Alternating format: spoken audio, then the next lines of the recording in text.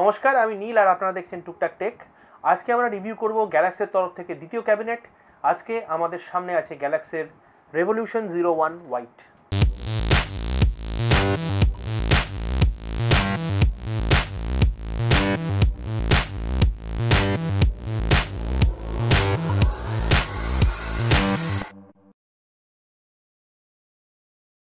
আমরা এর আগে যখন রেভলিউশন জিরো ফাইভ রিভিউ করেছিলাম, তখন বলেছিলাম যে এটা একটা অত্যন্ত ভালো বাজেট অফারিং কিন্তু এটার একটাই সমস্যা, চারটে ফ্যান থাকলেও চারটে ফ্যান কিন্তু কন্ট্রোলেবল এআর জিবি ফ্যান নয়। অর্থাৎ কিনা আট জিবির রঙগুলো আপনি কোনোভাবেই কন্ট্রোল করতে পারেন না।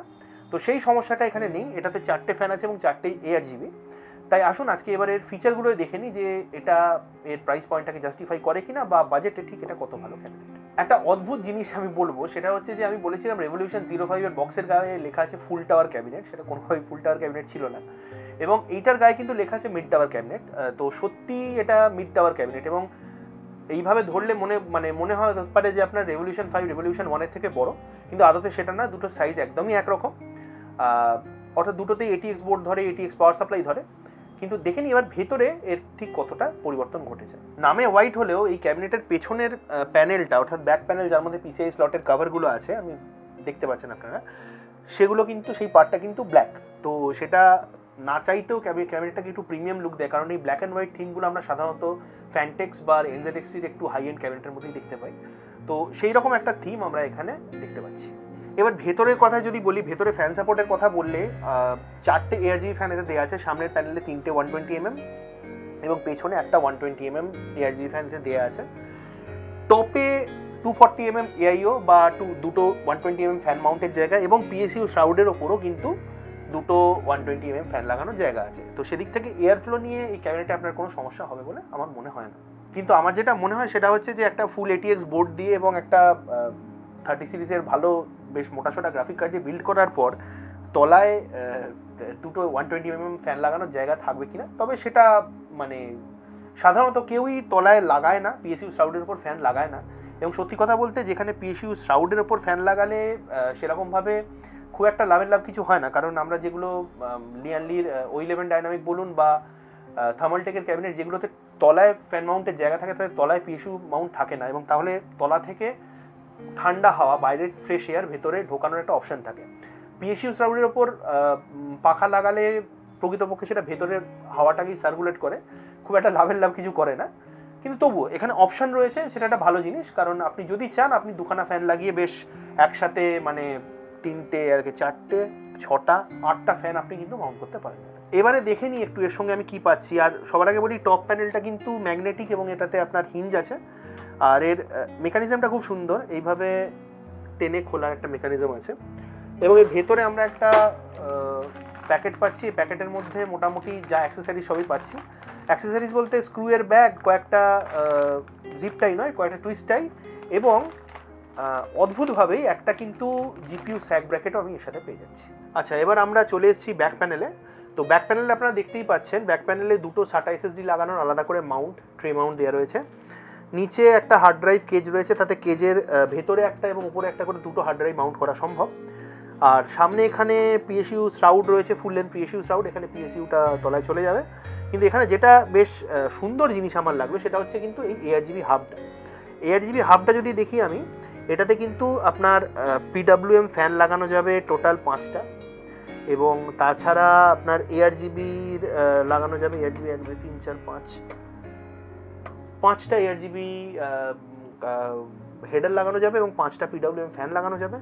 এছাড়া এখানে আপনার এলইডি স্ট্রিপ লাগানোর কিছু জায়গা আছে, কিন্তু এর কানেক্টারগুলো কিন্তু কোনোভাবেই আট জিবি নয়। অর্থাৎ কিনা এগুলো কোনো প্রোপ্রাইটারি কানেক্টার সেটা হতে পারে গ্যালাক্সের বা অন্য কোনো ব্র্যান্ডের যার প্রোপ্রাইটারি কানেক্টারটা ম্যাচ করবে, সেগুলো লাগানো যাবে। এই পুরো হাবটা চলে সাটা পাওয়ার দিয়ে, আপনারা দেখছেন একটা সাটা পাওয়ার লাগানো আছে অলরেডি তো এটা ছাড়া এই হাব থেকে একটা পিডাব্লিউএম এর কানেক্টার এবং আরেকটা আপনার সুইচে গেছে। কিন্তু এর সাথে আপনার কেবল দেওয়া আছে যেটা দিয়ে আপনি, আপনার মাদারবোর্ডে যদি এয়ার জিবি সাপোর্ট থাকে, আপনি এয়ার জিবি সাপোর্ট লাগিয়ে এটা কিন্তু এয়ার জিবি দিয়ে কন্ট্রোল করতে পারেন। এই টপ প্যানেল আইওর কথা যদি বলি টপ প্যানেলে আছে একটা ইউএসবি থ্রি পয়েন্ট জিরো টাইপে একটা ইউএসবি টু পয়েন্ট জিরো টাইপে এটা ছাড়া পাওয়ার রিসেটেড বাটন ছাড়া এয়ার জিবি কন্ট্রোলের সুইচও আছে। অর্থাৎ আপনার যদি মাদারবোর্ডে সাপোর্ট না থাকে, আপনি সাটা পাওয়ার দিয়ে লাগিয়ে সুইচ দিয়ে কন্ট্রোল করতে পারেন। সুইচ দিয়ে অলরেডি কানেকশন করা আছে।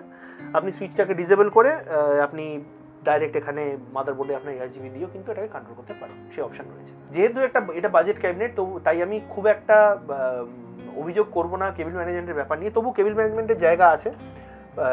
সিপিইউ ইপিএস পাওয়ার কানেক্টারের জন্য দুখানা এখানে লুপ এবং এই ধারেও লুপ লুপটাই লুপ মানে কেবল আটকানোর জন্য লুপ প্রচুর আছে, কিন্তু ব্যাপারটা যেটা হচ্ছে, জায়গাটা একটু কম।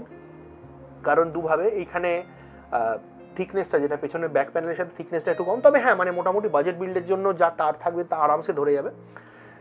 সেটা ছাড়া এই মাদারবোর্ডের এরিয়াটা একটু বড় করা হয়েছে, এই ফাঁকা এরিয়াটা বড় করা হয়েছে কস কাটিংয়ের জন্য। ঠিক আছে, কিন্তু মানে এরকম নয় যে কেবিল ম্যানেজমেন্টে একদমই জায়গা নেই। আপনাকে চেপে চুপে পেছনের প্যানেল বন্ধ করতে হবে।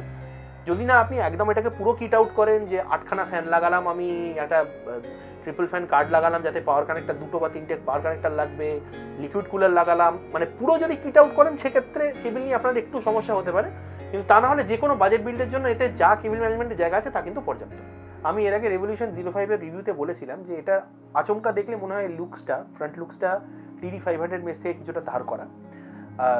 রেভলিউশন জিরো ওয়ানের ক্ষেত্রে কিন্তু একদমই সেটা নয়। এর ফ্রন্ট লুকটা খুবই ইউনিক এবং বিশেষ করে সাদা রঙের দেখতে খুব সুন্দর লাগে। তাই যারা বাজেট বিল্ড করছেন, বিশেষ করে বাজেটে হোয়াইট বিল্ড করছেন, তাদের জন্য এর হোয়াইট ভার্সনটা কিন্তু খুব ভালো একটা অপশন একটা ছোট্ট কথাই আমি খালি বলব, সেটা নিটপিকিং ভাবাই যেতে পারে। সেটা হচ্ছে কেউ যদি থ্রি সিক্সটি কুলার এটাতে লাগাতে চান ট্রিপল রেডিয়েটার সেক্ষেত্রে কিন্তু সামনে একটু ফিট করতে সমস্যা হতে পারে। কারণ সামনে জায়গা কম। আর টু ফর্টি তো টপেই লাগানো যায় টপে থ্রি সিক্সটি লাগানোর কোনো জায়গা নেই। সেটা ছাড়া ওভারঅল কিন্তু এই ক্যাবিনেট নিয়ে আমার মনে হয় বাজেটে এটা যথেষ্ট ভালো অফারিং মানে মোটামুটি আমার যা হিসেব বলছে এটা পাঁচ হাজারের নিচেই দাম এটার আসার কথা, সেই রেঞ্জে এটা ভালো ক্যাবিনেট তবে তবে তবে তবে আপনি যদি হোয়াইটের জায়গায় ব্ল্যাক বিল্ড করতে চান, সেক্ষেত্রে এটা একটা ব্ল্যাক ভার্সানও আছে। কিন্তু আমি বলব যদি ব্ল্যাক বিল্ড আপনি চান এবং এই রকম রেঞ্জের মধ্যে ক্যাবিনেট খুঁজছেন, তাহলে আমি বলব আপনি একবার থার্মালটেকের ভি টু ফিফটি ইয়ার ক্যাবিনেটটা দেখুন। কারণ আমার মনে হয় ওটার সাথে যদি কম্পেয়ার করি, তাহলে কিন্তু থার্মালটেকের ভি টু ফিফটি ইয়ার অনেকটাই এগিয়ে আছে এর থেকে। তবে হ্যাঁ অবশ্যই ভি টু ফিফটি ইয়ারের লুকসটা অনেক বেশি ট্র্যাডিশনাল এরকম ইউনিক লুক তার নয়। তো এই ছিল গ্যালাক্স রেভলিউশন ফাইভ হোয়াইটের রিভিউ যদি আপনার ভিডিওটা ভালো লেগে থাকে, অবশ্যই লাইক করুন এবং শেয়ার করে দিন আপনার বন্ধুদের কাছে যারা বাজেট ক্যাবিনেট বা বাজেট ক্যাবিনেটটা বিল্ড করার কথা ভাবছেন। ভিডিও শেষ করার আগে বিশেষ ধন্যবাদ জানাই টেকনোলজি অ্যান্ড গ্যাজেটসের তিরুন্দাকে। এবং গ্যালাক্সির দীনেশজিকে আমাকে এই রিভিউ স্যাম্পলগুলো জোগাড় করে দেওয়ার জন্য। অনেক ধন্যবাদ আমাদের চ্যানেলের পাশে থাকার জন্য। গ্যালাক্সির আরও কিছু প্রোডাক্টের রিভিউ আমরা শিগগিরই নিয়ে আসব। এবং সেই রিভিউগুলো যদি মিস করতে না চান, অবশ্যই চ্যানেলে সাবস্ক্রাইব করুন এবং আমাদের সোশ্যাল মিডিয়া হ্যান্ডেলগুলোতে ঘুরে আসুন। আর এই রকম ক্যাবিনেট এই ক্যাবিনেট বা এরকম আরও হাজার রকম ক্যাবিনেট কেনার যদি আপনার প্রয়োজন পড়ে, তাহলে অবশ্যই চলে আসুন মাইক্রো সেন্টারে চাঁদনি চক, হিন্দুস্তান পোস্ট অফিসের ঠিক পাশে। চার নম্বর সিয়ার এভিনিউ মাইক্রো সেন্টার আমার ঠিকানা, আমাদের ঠিকানা এবং কলকাতার সেরা পিসি বিল্ডের ঠিকানা। চলে আসুন, দেখে, হাতে নেড়ে ঘেঁটে বাড়ি নিয়ে যান আপনার পরের গেমিং পিসি আজকে এই পর্যন্তই, দেখা হবে পরের ভিডিওতে নমস্কার।